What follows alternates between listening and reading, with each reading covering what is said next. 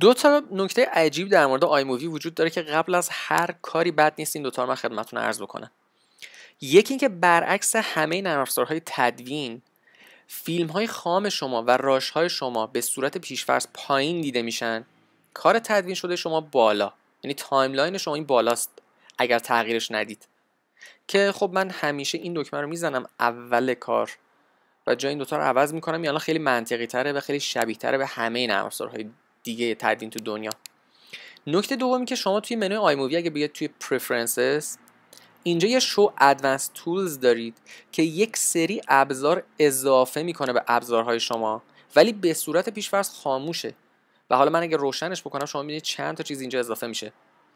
ما توی کل خودآموزمون هم با شرایطی کار می‌کنیم که advanced tools روشن هستش هم قسمت راش های ما بالان و قسمت timeline ما پایین هستش.